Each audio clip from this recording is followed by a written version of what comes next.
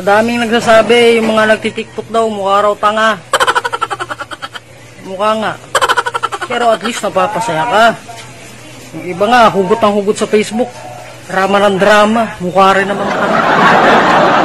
Na heart-heart ko na nga lang din eh, para parehas na kami mukhang tanga.